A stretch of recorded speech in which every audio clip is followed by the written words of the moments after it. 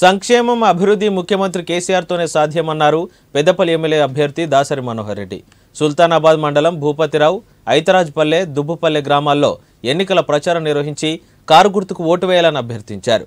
అంతకుముందు గ్రామానికి వచ్చిన ఎమ్మెల్యే దాసరి మనోహర్ రెడ్డికి మహిళలు మంగళ హారతులతో స్వాగతం పలికారు. ఈ సందర్భంగా దాసరి మాట్లాడుతూ అధికారం కోసం దొంగ హామీలు ఇస్తున్న కాంగ్రెస్ పార్టీని నమ్మవద్దని నమ్మి మొండి చేయికి ఓటేస్తే తిరిగి కష్టాలు మొదలవుతాయన్నారు. రాష్ట్రంలో మూడోసారి బీఆర్ఎస్ ప్రభుత్వం అధికారంలోకి రావడం ఖాయమని ధీమా వ్యక్తం చేశారు.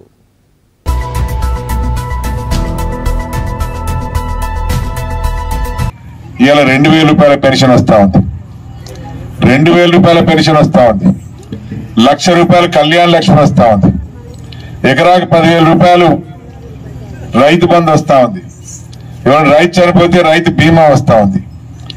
ఆడపిల్ల గర్భవతి అయితే ఇవాళ మరి ఆసుపత్రి తీసుకెళ్ళి నెల పరీక్షలు చేయించి రూపాయి ఖర్చు లేకుండా మందులు ఇచ్చి ఆరోగ్యంగా తల్లి బిడ్డ కడుపులో ఉన్న బిడ్డ మంచిగా ఉండాలని వాళ్ళకు మంచి మందులు ఇచ్చి వాళ్ళకు ఆసుపత్రి పరీక్షలు చేయించి మరి ప్రసవం ఉచితంగా ప్రసవం చేయించి తల్లి బిడ్డలు ఇంటికి పంపిస్తా ఉన్నారు.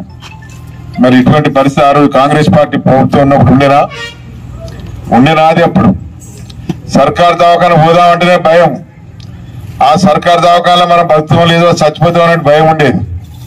కానీ ఇవాళ నేను తప్పకుండా సర్కార్ దవాఖాన పోతాను. ఇవాళ మా ఆడబిడ్డలు అందరూ ప్రసూతికి అక్కడికే పోతా ఉన్నారు. ప్రసూతికి అక్కడికే పోతా ఉన్నారు. బయటికి పోతే ఒక లక్ష రూపాయలు ఎనభై వేలు డెబ్బై వేలు లక్ష రూపాయలు ఖర్చు అవుతున్నాయి ఆడ మరి ప్రభుత్వ ఆసుపత్రిలో దవాఖానలో మరి ఉచితంగా ప్రసవం చేయిస్తా ఉన్నారు. మరి తల్లి బిడ్డ క్షేమంగా ఉంటా ఉన్నారు మందులు ఇస్తా ఉన్నారు. ఇవన్నీ జరుగుతున్నాయని అలా సామాన్య ప్రజలందరూ కూడా అక్కడికి వెళ్తా ఉన్నారు.